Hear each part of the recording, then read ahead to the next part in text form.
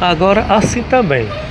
Mesmo se eu tivesse minha companheira certa, minha mulher, que eu gostasse dela, ela gostasse de mim, mas eu acredito que eu não, eu não entendo bem a chamada de Deus na minha vida, mas todos nós, eu acredito que seres humanos, eles têm uma chamada específica de Deus na sua vida. Né? Mas eu acredito, mesmo eu com minha mulher, mas eu é, me envolveria e pregaria, tá entendendo?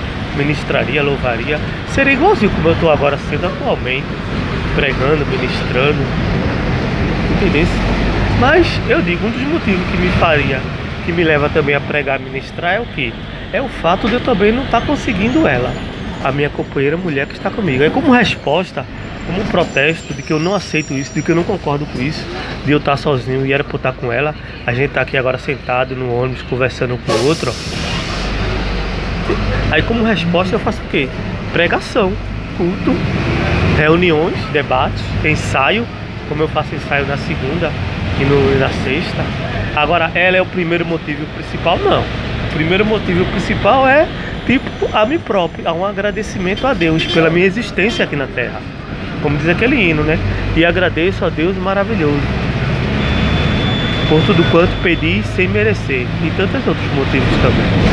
Mas ela pode ser o motivo? Ela é o motivo, mas não é o primeiro motivo. Que primeiro tem que ser o quê? Deus. Segundo, amor próprio. Terceiro é que, que conjugue. E o quarto é o geral, um amor geral. Amigos, famílias, vizinhos, etc, etc.